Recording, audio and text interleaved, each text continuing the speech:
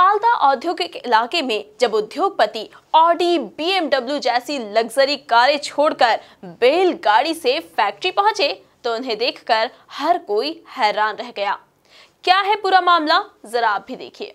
पालदा औद्योगिक इलाके में शनिवार को अलग ही नज़ारा था। जो उद्योगपति हर दिन बीएमडब्ल्यू, ऑडी जैसी कारों से फैक्ट्री आते थे, वे बैलगाड़ी पर सवार थे।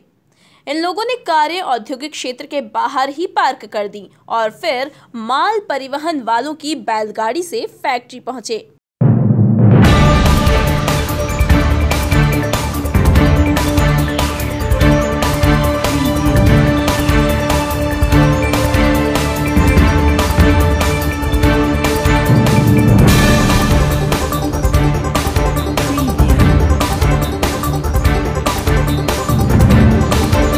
कंधे पर लैपटॉप टांगे। इन उद्योगपतियों का ये गड्ढेदार और कीचड़ से भरी सड़क के खिलाफ प्रदर्शन था। इसमें पालदा औद्योगिक संगठन के अध्यक्ष प्रमोद जैन, सचिव हरीश नागर, रमेश पटेल शामिल हुए।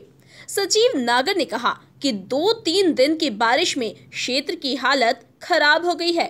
पालदा औद्योगिक संगठन नौ सालों से सड़क बनाने की मांग कर रहा है, लेकिन कुछ नहीं हुआ। दरअसल पालदा औद्योगिक क्षेत्र में हर साल बरसात के मौसम में सड़क की हालत खराब रहती है। उद्योगपतियों से लेकर मजदूरों और अन्य लोगों को मुसीबत से दो चार होना पड़ता है। Bureau report, MP news, Indore.